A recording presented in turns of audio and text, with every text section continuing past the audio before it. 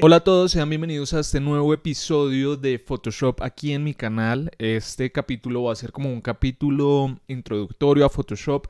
Vamos a aprender cómo se utiliza, cómo sirve, obviamente de manera básica, porque en los minutos, en los pocos minutos que dure este video, no vamos a alcanzar a cubrir la totalidad de lo que se puede hacer o no con Photoshop. Entonces vamos a estar viendo varias cosas, es como un curso introductorio, si bien se puede llamar a Photoshop. Entonces Vamos a ver qué se puede hacer. Recuerden que si les gusta este video, si les sirve para alguna cosa, denle like a este video y suscríbanse al canal para más contenido a futuro como este. Muchas gracias. Como pueden ver aquí ya tengo abierto Photoshop. Dice bienvenido a Photoshop. Seguramente si es la primera vez que ustedes lo abren. Ah, por cierto, estoy trabajando con la versión CC 2019. Estamos a junio del 2019 para el momento de grabación de este video. Nos dice bienvenido a Photoshop, seguramente si es la primera vez que ustedes abren Photoshop no van a ver esto tal cual. Estos son los documentos que yo he abierto recientemente. Seguramente si van a abrir Photoshop por primera vez, simplemente les va a decir esto de inicio, fotos de Lightroom, crear nuevo o abrir. Entonces, empecemos desde cero, creemos un documento nuevo. Al darle clic a crear nuevo documento nos va a dar varias opciones. Estos son digamos los elementos recientes que yo he creado desde documento de cero. Eh, aquí los que guardamos como ajustes preestablecidos. Los de foto tradicional, material para imprimir, o sea, ya están como a medida, documentos de impresión, para obras de arte, lo que más se utiliza, web, móvil, película y video. Vámonos a recientes, aquí digamos tenemos todas las opciones eh, anchura y altura, ahí estamos en píxeles, y lo cambiamos a centímetros nos muestra cuál sería su equivalente en centímetros o en pulgadas en milímetros, en puntos, etc. Dejémoslo en píxeles 1920 por 1080, que digamos es un formato de video. Vamos a dejarlo así. Aquí podemos seleccionar si queremos la orientación vertical u horizontal la resolución en píxeles por pulgada. Vamos a dejarlo en 72, vamos a dejar así todo tal cual. Aquí podemos seleccionar qué contenido queremos de fondo. Si lo queremos blanco, negro, un color de fondo que nosotros seleccionemos o transparente. Vamos a dejarlo en blanco.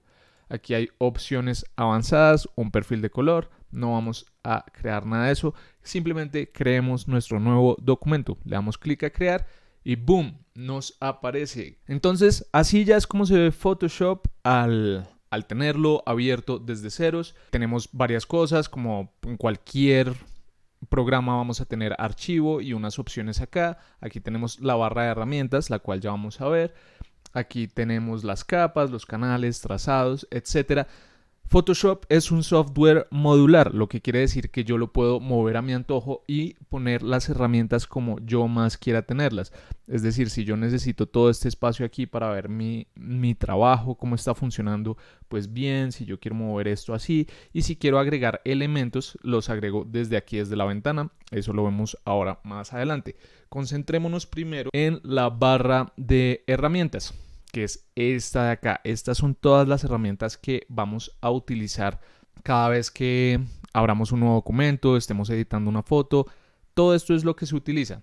Entonces, si uno pasa el mouse por cada una de las herramientas por encima, nos va a mostrar ilustraciones o una ilustración, un pequeño video de cómo funciona. Herramienta mover, mueve una selección o una capa. Ahí ya nos mostró. Herramienta marco rectangular, esto también sirve para hacer selecciones hace un marco rectangular. Herramienta lazo hace un, una selección a nuestro libre albedrío. Nosotros somos quienes hacemos ese trazo. Herramienta de selección rápida realiza una selección identificando y siguiendo los bordes de la imagen. Es una selección inteligente con el software propio de Adobe. Herramienta recortar sirve para enderezar y ajustar nuestra imagen. Más adelante vemos las herramientas más a profundidad. Herramienta de marco para crear un marco herramienta de cuentagotas o gotero. Con esta herramienta podemos seleccionar o simplemente mirar los colores que están en la imagen. Herramienta de pincel corrector puntual, elimina marcas e imperfecciones, ahí limpiando ropa. Herramienta de pincel para dibujar, pinta trazos de pincel personalizados.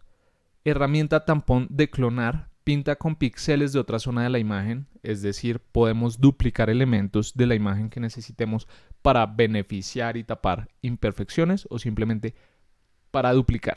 Herramienta pincel de historia, restaura las partes de una imagen a un estado anterior. Herramienta borrador. Colorea píxeles con el color de fondo o los hace transparentes.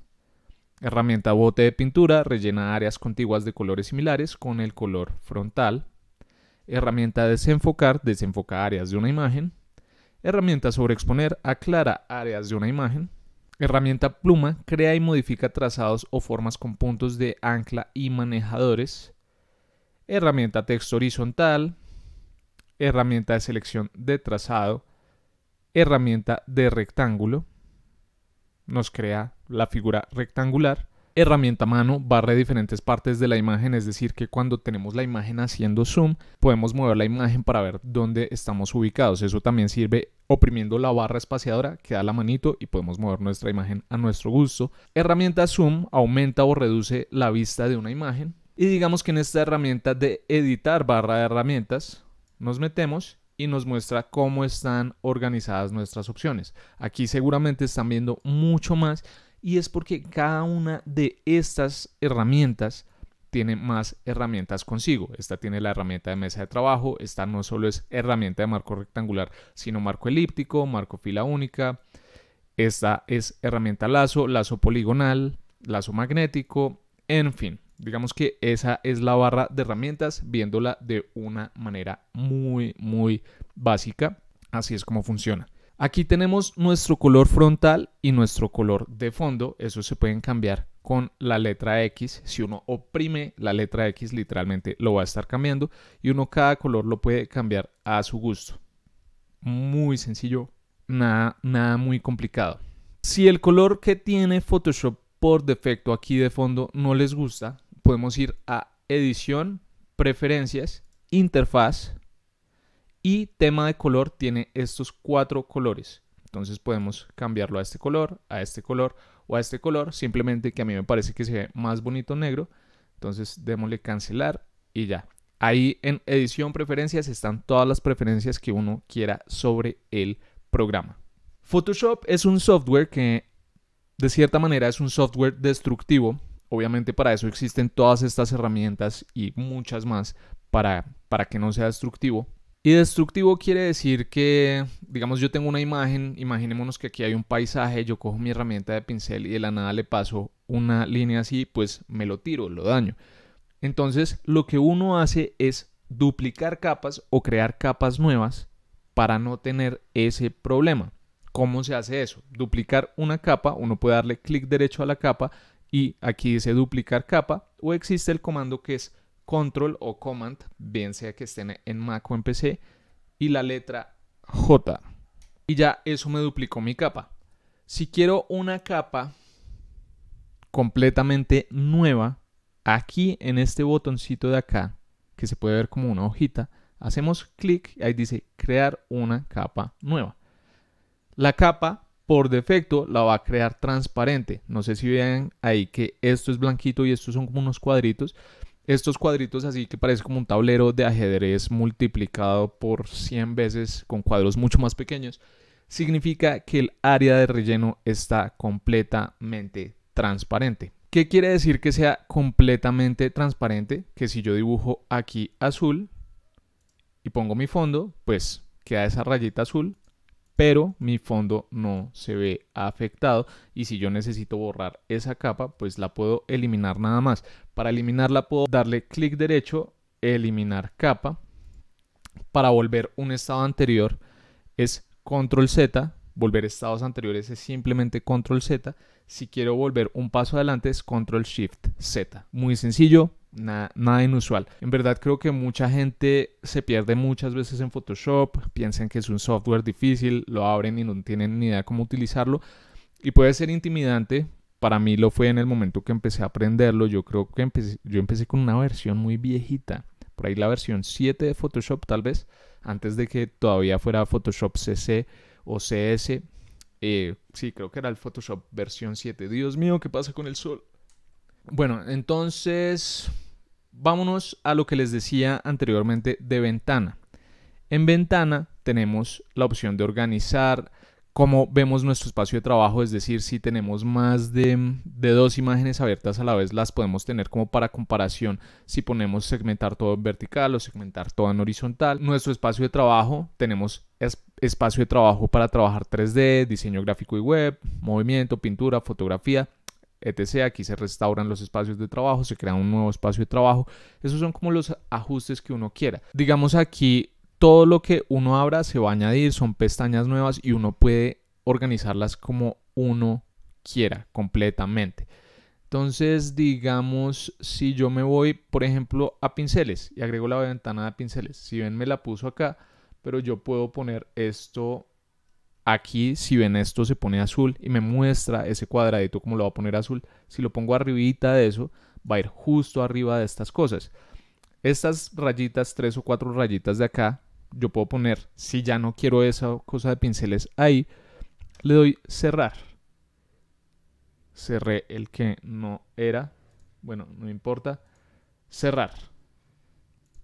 Para volver a tener lo que tenía, que yo tenía las capas, los canales y trazados, me los muestra aquí nuevamente. Simplemente voy a ventana y es depende de lo que necesite. Si necesito ver el histograma de mi imagen, ver si está bien expuesta, pues meto el histograma, lo puedo poner aquí también si yo quiero, o puedo cerrarlo y vuelvo a la normalidad. Esto lo puedo mover así, como les había dicho, o así. En verdad, utilizar Photoshop no, no es tan complicado como parece. Con este botón de acá, yo puedo darle clic, el que ya les había mostrado de crear capa nueva. Yo puedo hacerle clic todas las veces que quiera y crear todas esas capas.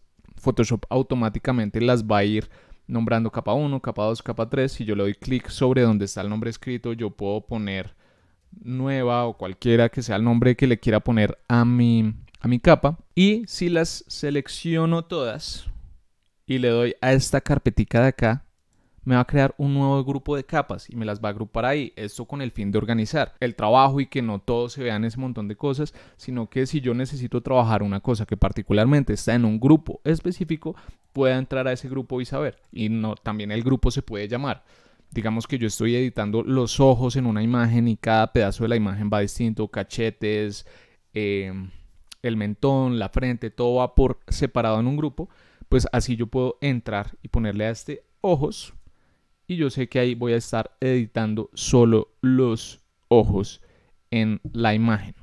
El botón que está al lado de crear el grupo de capas es para capas de ajuste. Yo puedo crear capas de ajuste, digamos esta de color uniforme, nos va a crear un color y nos va a rellenar toda la imagen con esto y yo puedo seleccionar el color que yo quiera de manera muy sencilla. Voy a cancelar eso para mostrarles porque también yo puedo llenar de un solo color con el bote de pintura pero no puedo estarlo cambiando así tan fácil. Entonces le doy control Z para regresar. Si me voy a color uniforme, yo puedo seleccionar el que yo quiera facilísimo. Si digamos selecciones ese naranja y lo quiero cambiar, simplemente doy doble clic y voy nuevamente a, a cambiarlo. Es muy sencillo. Hagamos sobre una nueva capa, una línea así de color azul como con el fin de mostrar para qué sirven las otras máscaras de capa. Hay una aquí que es un degradado. Entonces yo puedo poner si ese degradado quiero que sea lineal, radial, con un ángulo específico. Aquí puedo mover el ángulo de ese degradado. Entrando al degradado puedo cambiar sus colores directamente seleccionando estos preestablecidos o haciendo doble clic sobre ese color particular y sobre el cual se va a ir el degradado. Y ya, digamos que que ok, cancelemos ese degradado. Puedo poner también un motivo. Eso la verdad nunca lo he utilizado, entonces pues no sé, no me parece como muy interesante. Brillo y contraste. Entonces pues yo le puedo dar brillo y contraste a esto, puedo iluminarlo. Puedo no. Puedo puedo ponerle niveles. Digamos que todo esto no lo voy a explicar en detalle ahora, ya que esto es básico, pero pues en fin, se harán una idea de exposición, intensidad, del tono y la saturación, por, por ejemplo, entonces o saturo mi imagen o no, le quito luminosidad, cambio su tono, en fin, es muy sencillo de usar, depende para lo que vayan a utilizarlo. todas esas herramientas que encuentran aquí en capas de ajustes, ustedes se pueden ir a imagen, ajustes y hacer lo mismo, darle brillo, contraste, por ejemplo, a, su imagen. Ah, bueno, es que ahí, perdón, ahí no tenía seleccionada, digamos, la capa. Vamos a crear una capa con todo, todo lo que hemos hecho, una que lo unifique. Esto se logra presionando Control o Command, la tecla Alt, Shift y la letra y la letra E y eso nos genera una capa con todo. Este ojito, se me había olvidado mencionar, nos va a mostrar o no lo que tenemos. Entonces si quito todo esto que ya está unificado en una capa, yo puedo ir poniendo cosas. Estas capas son transparentes porque son de ajuste nada más. Y ya, o tengo todo eso. Entonces, si me voy a imagen, ajustes, brillo, contraste, pues me va a ajustar el brillo y el contraste de, de eso ahí, pero no como una capa de ajuste no de la manera que lo hicimos aquí, que yo puedo regresar al hacer doble clic a esto y modificarlo nuevamente a lo que yo quiera. O sea, no es destructivo, esto simplemente lo trabaja ya sobre esa misma capa. Amigos, para no hacer este video mucho más largo, voy a dejar aquí, continúo en un próximo episodio. Entonces, tan pronto salga, yo creo que sale en un par de días, lo dejaré para que lo vean. Entonces, eh, ese nuevo episodio debe estar apareciendo por aquí o en algún momento por arriba. No olviden suscribirse, darle like a este video si esto les sirvió. Em, voy a seguir, digamos, con este curso básico introductorio de Photoshop porque pues en 20 minutos o lo que sea que dure este video no me cabe, no me cupo todo. No quiero extenderme a horas y horas, sino más bien irlo sacando por partecitas. Entonces, nada, nos vemos a la próxima con un nuevo tutorial de Photoshop. Suscríbanse al canal, denle like a este video y, ya, me pueden seguir en Instagram. Arroba corcovain está apareciendo por aquí. Ahora sí, adiosito, no los molesto más. Chaito.